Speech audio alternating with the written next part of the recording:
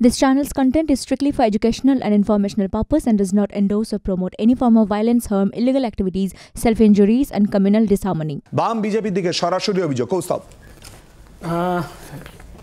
বিনীত গোয়েল বললেন যে as of নাও কিছু জানি না নাথিং অ্যাজ অফ নাও আর মুখ্যমন্ত্রী সব জানেন মুখ্যমন্ত্রী যা বললেন আসলে দলের লোকেরাই তাই তাই করেছে তো মুখ্যমন্ত্রীকে কথা বলতেই হবে তো ডিওয়াইএফআই এর ফায়দাটা কি? ডিওয়াইএফআই গিয়ে ওখানে ওই ডাক্তারদের এটা ভাঙবে কেন? সবাই বোঝেন। আমি হ্যাটস অফ করব বাংলার মিডিয়াকে।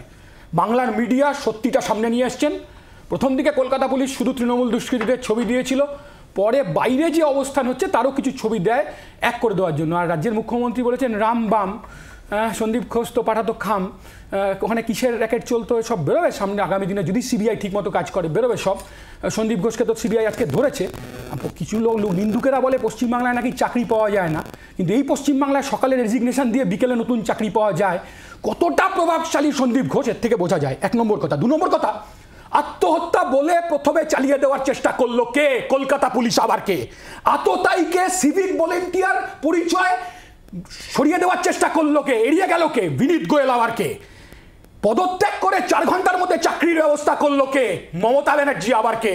আর আজকে মমতা ব্যানার্জি যা বলেছেন, আসলে প্যাথোলজিক্যাল লায়ার উনি আজকে যা বলেছেন সব তৃণমূল কংগ্রেস করতে গেছিল। বাংলার মিডিয়াকে হ্যাটস বাংলার মিডিয়া ছিল বলে এটা প্রমাণ হচ্ছে আজকে অব্দি পুলিশ যাদেরকে ধরেছে, তারা সব তৃণমূল কংগ্রেসের নেতা।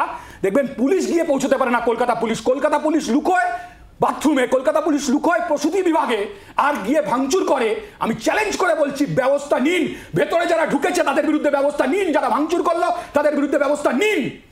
তারা প্রত্যেকে তৃণমূল কংগ্রেসের নেতা।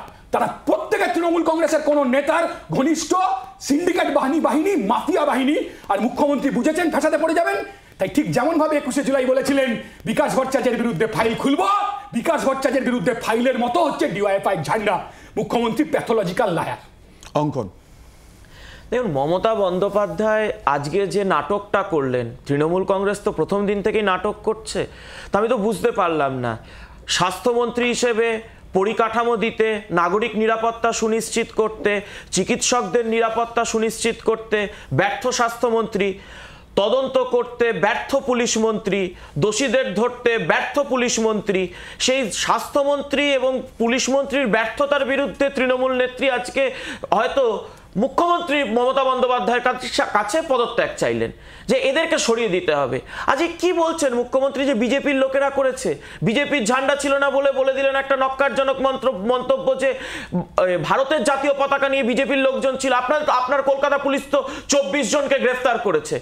প্রমাণ করুন না, চব্বিশ জনের মধ্যে একজনও বিজেপির কর্মী, একজনও বিজেপির সমর্থক, একজনও বিজেপির নেতা। প্রমাণ করুন, আমরা প্রমাণ করে দেব, নাম, বাবার নাম, ঠিকানা, ফোন নাম্বার দিয়ে যে ওরা তৃণমূল কংগ্রেসের কর্মী। ওরা পাড়ায় ওরা এলাকায় তৃণমূল কংগ্রেস করে। আজকে এই পুলিশ বলুন তো, একটা কি ছিল? আজকে ওখানে সমাবেশ হবে, মানুষ আরজি করের সামনে যাচ্ছে। আজকে বিজেপির রাজ্য সভাপতি, কেন্দ্রীয় মন্ত্রীকে পুলিশ পিটিয়ে তুলে দিতে পারে, বিজেপি কর্মীর ওপর দিয়ে পুলিশ গাড়ি চালিয়ে দিতে পারে। আর সেই দিনকে এরকম ঘটনা ঘটছে, আধ ঘণ্টা ধরে পুলিশ নীরব দর্শক। কিসের জন্য? কেন পুলিশের ইন্টেলিজেন্স ফেলিওর হলো? পুলিশ জানতে পারতো না যে এরকম করে একদল এই সমস্ত জায়গা থেকে তৃণমূলের নেতারা গিয়ে দুষ্কৃতীদের পাঠিয়ে দিচ্ছে। আর পুলিশ সেটাকে আটকাতে ব্যর্থ? পুলিশের তিরিশ হাজার কলকাতা পুলিশের শূন্য পদ তাহলে খালি রেখেছেন কেন? মমতা বন্দ্যোপাধ্যায়কে তার জন্য পদত্যাগ করা উচিত। পশ্চিমবঙ্গ পুলিশের এক লক্ষের ওপর শূন্য পদ কেন? যদি পুলিশ আজকে সামলাতে না পারে, দিয়ে পুলিশ কি করছে? সিম্প্যাথি কার্ড খেলছে। বিনীত গোয়েল গিয়ে বলছে যে সংবাদ মাধ্যমের জন্য এই যাবতীয় উত্তেজনা ছড়িয়েছে। সংবাদ মাধ্যমকে দায় নিতে হবে। সংবাদ মাধ্যমকে পনেরোই আগস্ট মধ্যরাতে দেশের চতু, গণতন্ত্রের চতুর্থ স্তম্ভকে আক্রমণ করে কি করতে চাইছেন সিপি? কি করতে চাইছেন নগরপাল? উনি তো ব্যর্থ। ওনার সামনে ওনার নেতৃত্বে যে তদন্ত হচ্ছে কলকাতা হাইকোর্টের মহামান্য প্রধান বিচারপতি মুখের ওপর বলে দিচ্ছে যে তদন্তে পাঁচ দিনে কোনো গুরুত্বপূর্ণ অগ্রগতি নেই। এরপরে রাজনৈতিক বক্তব্য ছেড়ে মানে রাজনৈতিক ভাষণবাজি দিচ্ছেন সিপি ওনার উচিত সিপির পদটা ত্যাগ পদত্যাগ করে ওই চেয়ারটা ছেড়ে দিয়ে তৃণমূল কংগ্রেস জয়েন করা। তৃণমূল কংগ্রেস যান তৃণমূল কংগ্রেসের ভাষণ দিন, ওটাই আপনার কাছে মানায়। বাংলার আওয়াজ, বাঙালির আবেগ। জি, চব্বিশ ঘণ্টা।